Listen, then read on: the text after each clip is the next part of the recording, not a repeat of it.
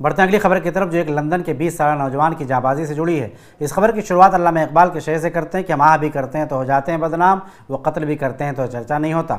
अक्सर दुनिया में इस्लाम दुश्मन लोग और ख़ासकर मीडिया जब भी कोई मुसलमान कोई जुर्म करते हुए पकड़ा जाता है तो उसे काफ़ी हाईलाइट करता है। उसके घर को लेकर सवाल उठाए जाते हैं और इस्लाम और सारे मुस्लिम समाज को बदनाम करने की कोशिशें की जाती हैं। लेकिन जब कोई मुसलमान अपनी जान की बाजी लगाकर दूसरों की जान बचाता है तो मीडिया और इस्लाम दुश्मन लोगों के मुँह पर ताला लग जाता है। अब ना तो उस जान बचाने वाले मुसलमान का धर्म तलाशा जाता है और ना ही उस मुसलमान की इस्लामी तालीमत पर अमल करने की मिसाल पेश की जाती है। ऐसा ही एक मामला हाल ही में लंदन के ब्रेन फोर्ट शहर से सामने आया है, जहाँ एक चौरासी साल बुज़ुर्ग औरत एक दुकान से कुछ सामान खरीदने के लिए रुकी हुई थी।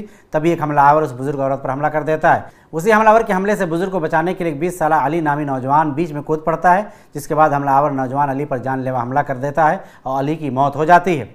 कत्ल के इस जुर्म की वारदात के लिए सैंतीस साल नोरेस हेनरी के खिलाफ कत्ल करने और कत्ल करने की कोशिश करने की शिकायत दर्ज कर ली गई है।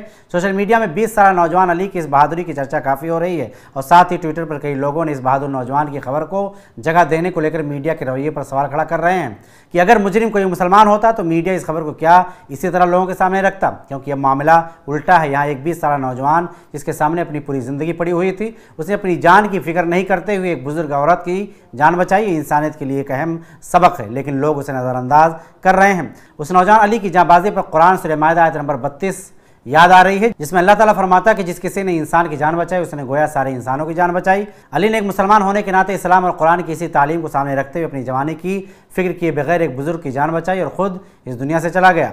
ऐसे ही और वीडियोस बनाने में हमारी मदद करें।